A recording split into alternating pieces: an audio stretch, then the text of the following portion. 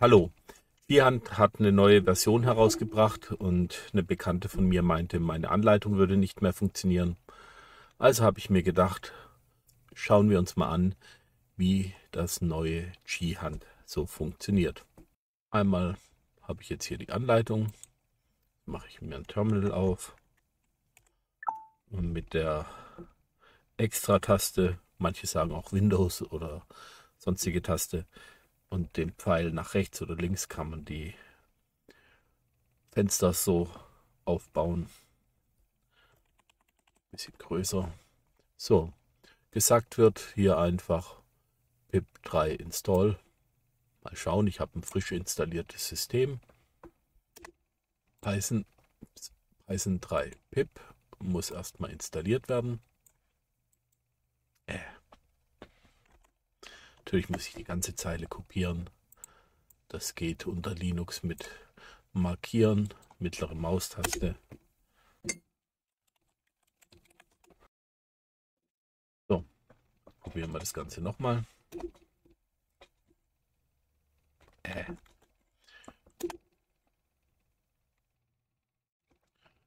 Naja, also, hier wird sich beschwert, dass ich pipx nicht über pip3 installieren soll. Also machen wir halt sudo apt install pipx. Gut, pipx sollte installiert sein. Probieren wir es nochmal. Sehr schön. Dann versuchen wir mal Qihan zu installieren. So, was passiert als nächstes? Ich soll den G-Hand Login machen.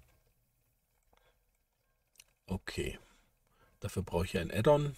Ich habe hier den LibreWolf, das ist ein Firefox-basierter Browser.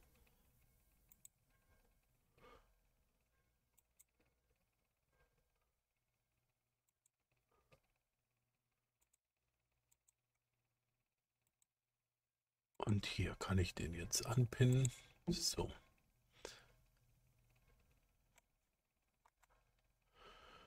Aber wenn ich den jetzt auslöse, was soll er denn machen? Okay. Wie erwartet, er möchte, dass ich mich bei Google anmelde.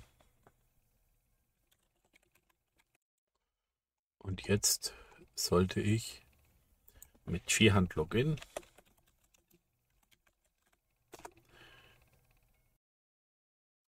Okay, das war mein Fehler.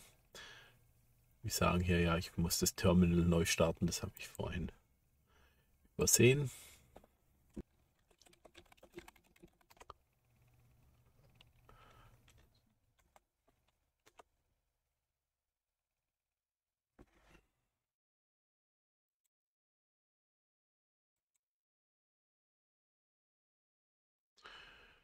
Okay, also jetzt hat er die Credits.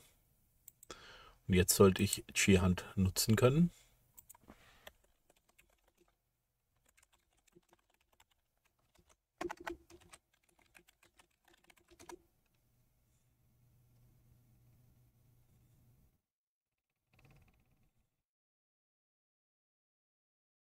Ja.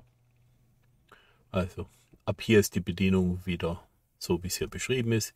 Ich schreibe G-Hand dann äh, eben, ob ich E-Mail oder eine Gaia oder Drive-Informationen habe und bekomme dann eben diese Ergebnisse. Also ab da dürfte es wieder so sein wie in der alten Version. Also habt Spaß mit G-Hand, macht's gut, ciao, ciao.